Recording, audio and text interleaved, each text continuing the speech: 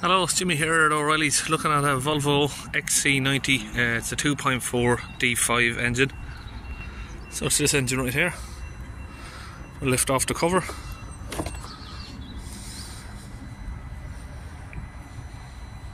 So straight away I can see down here he's put a new arm on the actuator flap.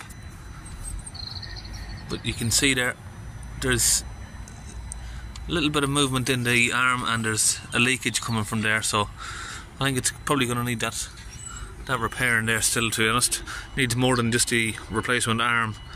It's going to need the swirl flaps doing.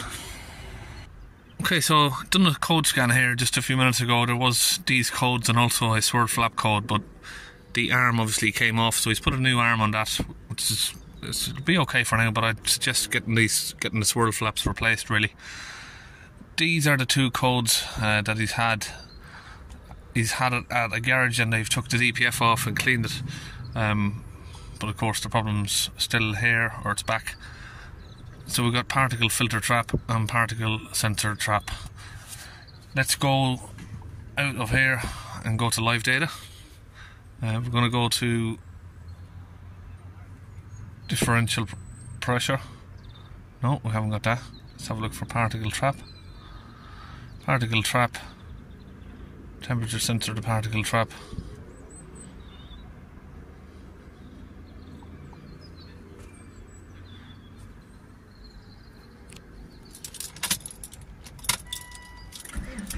Start the engine up. So we've still got zero pressure there. Accelerate it up still not getting any pressure coming from that let's go back out of here. Let me see if there's something else we can find for the DPF. Um, so we haven't got the oh, particle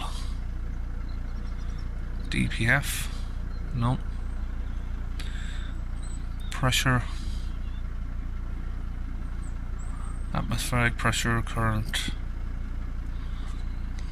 Okay, so it looks like those are the only two items we can find on live data, but as you can see there, when we accelerate it up, it doesn't move.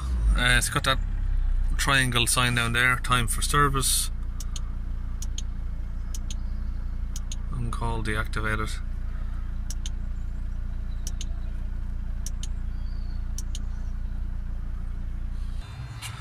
Okay, we can see the swirl flap arm moving around there.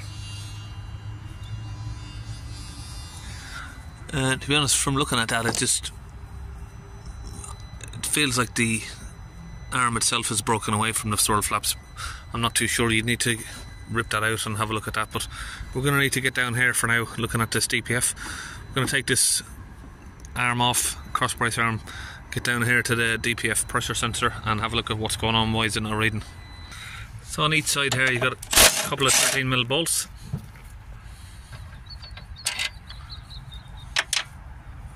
and then two on the opposite side here. So in here we've got a 19 mil bolt here.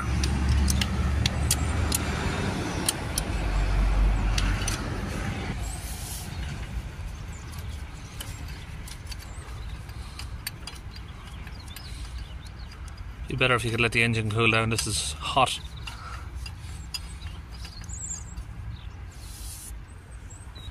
And pull this bolt out from this side. Now, if I remember rightly, this should now just lift up. Yep. Get it from the middle, lift her out. It's quite a heavy piece of metal, that. Now, the sensor is just down there with this plug on it. So the first thing I'm going to do is look at the tubes, see if they look like they're perished or split. No, they look fine. So you can see down there, this also had a new oxygen sensor. We'll just check all of the basic stuff first. Is it plugged in? Because you know I have seen that loads of times uh, where someone's been messing around with the car and they just haven't plugged it back in properly. So it's difficult to get in there to show you, but each side of the sensor here we have a T30 little Torx bolt. or screw. You just get those open.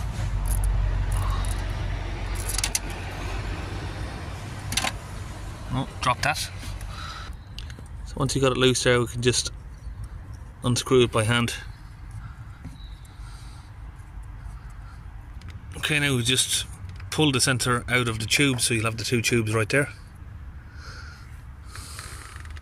So what I do here is connect up a pressure gauge up to the sensor here. So this side here where it says high, connect that up there. Just push that in. So we'll watch the live data on the screen and we'll increase the pressure on here. And while we increase the pressure on here, we should see the same on the sensor there, but the sensor doesn't move. Okay, so we know the sensor is not giving any reading, so it's pretty much going to be either a dead sensor or bad wiring. So unplug the sensor, hook up a little multimeter here, so add the earth onto the onto the metal of the engine there, and we should get two sort of 5 volt signals 4.9 volts and then this side over here 4.9 volts and then the center one is going to be the earth. This one here. So now if I connect the negative over here to the live of the car and put this into the center you should see a minus 11 volts. So that means the earth's working. So that brings it back to this sensor being a dodgy sensor. Now I can see this sensor is brand new. It's a new sensor.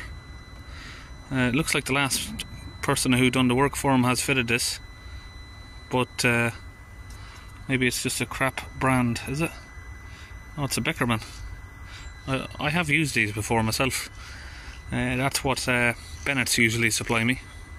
So I've got a few more of these sensors in the van, but none of them fit. The plug is slightly different.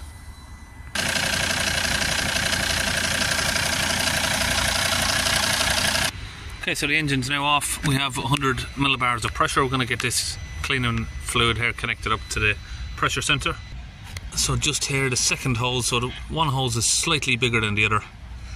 So it's the one closest to the engine, basically. So using a bottle of this launch DPF cleaner and that goes into the gun here, that's connected to the sensor and this is connected to a compressor. So just squeeze the trigger, hold that for a few minutes until all of the fluid has gone in. You'll see when it starts to get empty there. You'll see a clear tube. Well it turns out my compressor was switched off. So the, uh, I thought the pressure was a little bit slow there coming out. Get that pump back up to 9 bar which is 131 psi so now that's all done disconnect the gun all of the fluids in there. Now we're going to start the engine back up that connected. We're just going to keep an eye on the pressure here. We should see it coming down.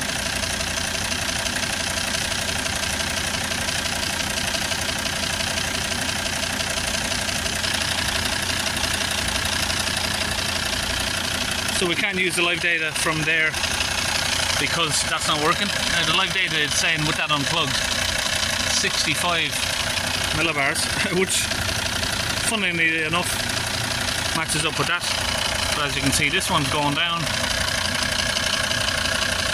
That one isn't.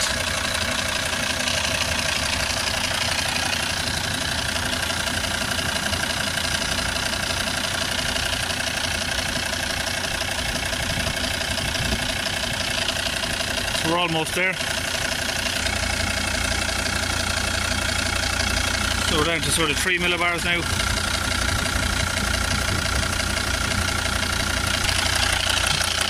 around the back here. Disconnect that. So with the plug disconnected on these, I assume it just goes to a standard setting of 65 there. So here comes Bennett's with my part. We'll get that new part off them there and get it fitted on. Okay, that's the new sensor fitted in. Okay, new sensor in. A little bit of rev up and down. We can see the pressure there is moving. We've now got some smoke coming from the rear, vapor, sorry. Okay, let's see if we got some power back. Definitely. It's out of limp mode. Okay, so he's had this other issue for a couple of years. Clunking noise as it goes out of gear. Let's have a look. See if I can get him to replicate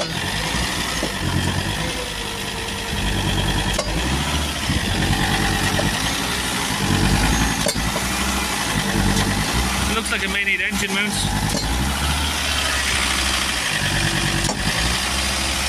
That bolt's loose.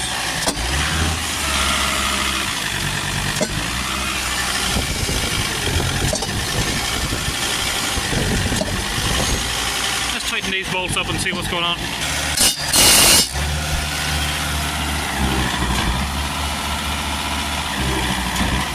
That's it, the clunking noise is gone. Well, it looks like these bolts here were just a little bit loose. Yeah. Um, so yeah, that sorted that out. It's two years he's been trying to sort that out. He's had that gearbox uh, specialist who were trying to find a problem, but they said they couldn't find a problem. But it sounds like it was just coming from these. So that loud clunk is gone now.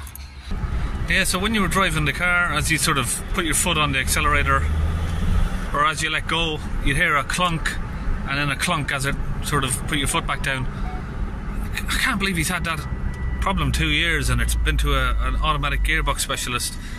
I'll be honest, I did think it was coming from the from the drive shaft or the rear subframe mount. I don't know how the sound sounded like it was coming from the rear subframe mount, but it's obviously coming from the front there. So yeah, it feels feels like a new car. We have sort of one or two millibars there at idle, and when you rev it up and down, she's moving nicely. Perfect. So that's it, that's the end of that video. Uh, he got a nice little bonus at the end there, got that little knocking noise resolved. And I'll see you on our next video.